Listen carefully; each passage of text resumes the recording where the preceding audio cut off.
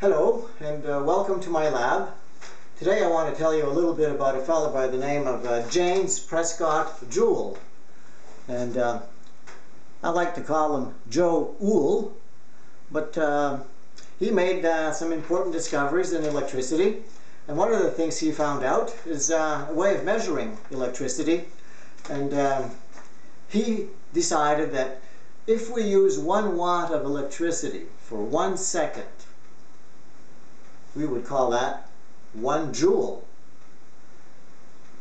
And it's a very uh, easy calculation. One watt for one second, one joule. One watt for 60 seconds, 60 joules. One watt for an hour is 1 times 60 times 60 is 3,600 joules or 3.6 kilojoules.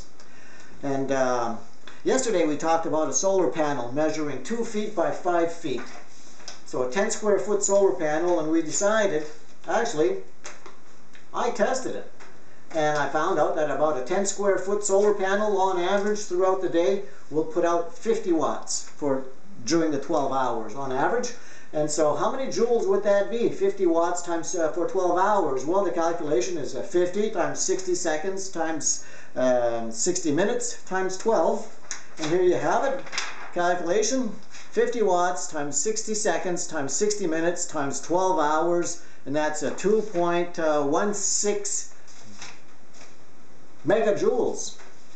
2,160 joules, 2.16 megajoules is how much electricity we could store in a battery pack with that solar panel. How much is that?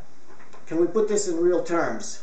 So let's compare it to how much a fridge would use. And I checked that out on the net, and an average fridge over the course of a 24-hour day will use about 100 watts an hour. And over a space of 24 hours, well, we can figure that out easily. It's 100 watts times 60 seconds times 60 minutes times uh, 24 hours, and we end up with 8.64 megajoules. Now that doesn't compare favorably with our uh, solar panel. Our solar panel only puts out uh, 2.16 uh, megajoules.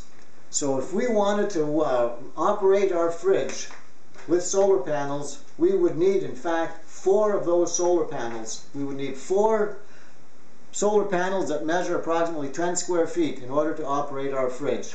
And uh, I hope this uh, helps you in uh, your decision as to whether or not you buy solar panels and how many you're going to need. Thanks kindly.